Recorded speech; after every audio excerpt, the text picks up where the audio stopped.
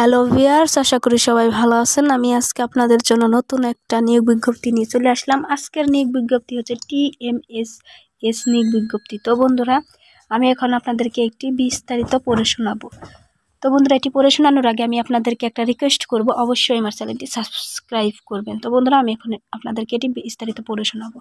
TMSS জাতীয় পর্যায়ের একটি বৃহত্তম বেসরকারি উন্নয়ন সংস্থা, অত্র সংস্থার আইসিটি ডোমেইনের আওতায় UK based cotton connect agriculture project বাস্তবায়নের জন্য উল্লেখিত পদে জরুরি ভিত্তিতে জনবল নিয়োগ করা হবে। নির্বাচিত প্রার্থীকে আগামী পঁচিশে এপ্রিল দুই হাজার একুশিং তারিখের মধ্যে যোগদান করতে হবে।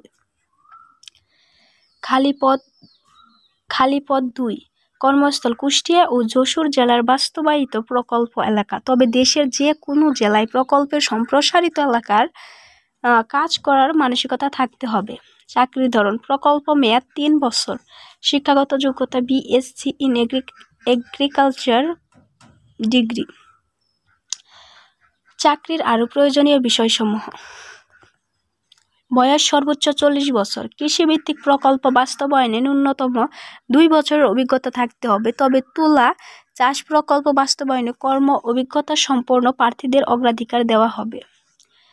কম্পিউটার পরিচালনায় MS Office, MS Word, Excel PowerPoint সক্ষম হতে হবে।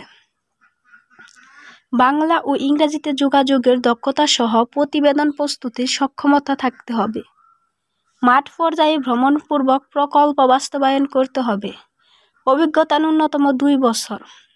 বেতন সাকুল্যে আঠাশ হাজার টাকা। সুযোগ সুবিধাসমূহ প্রকল্পের নিয়ম অনুসারে সুযোগ সুবিধা প্রদান করা হবে।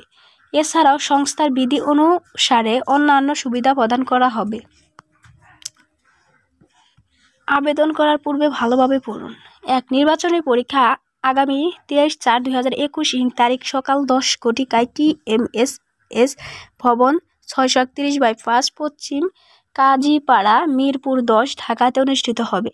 নির্বাচনী পরীক্ষার ধরন ব্যবহারিক মৌখিক।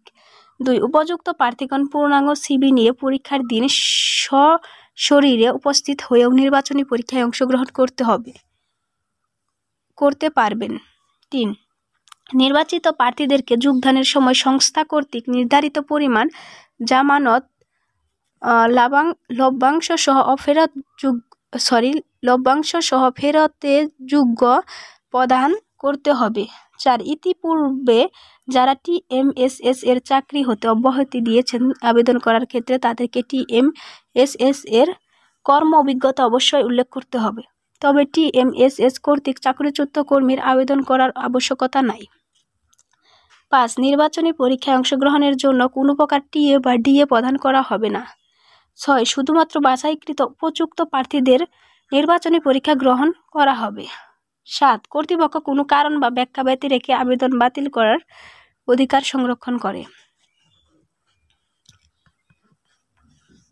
কোভিড নাইন্টিন পরিস্থিতিজনিত কারণে লকডাউন চলমান চলমান থাকলে অনলাইনের মাধ্যমে পরীক্ষা নেওয়া হবে। সেক্ষেত্রে এক্ষেত্রে পরীক্ষার ধরন, পরীক্ষার তারিখ, সময় ও জুম আইডি পরবর্তীতে এস বা মোবাইল ফুলের মোবাইল ফোনের মাধ্যমে জানানো হবে।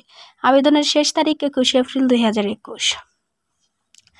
তো বন্ধুরা, এরকম আরও নতুন নতুন নিয়োগ বিজ্ঞপ্তি পাওয়ার জন্য অবশ্যই আমার চ্যানেলটি সাবস্ক্রাইব করবেন। আর আপনারা কোন টপিকের উপর সার্কুলার ভিডিওগুলো চান, আমাকে কমেন্ট করে জানাবেন। ওই টপিকের উপর সার্কুলার আমি আপনাদের সামনে সবার আগে তুলে ধরার চেষ্টা করব। তো বন্ধুরা থ্যাংকস ফর ওয়াচিং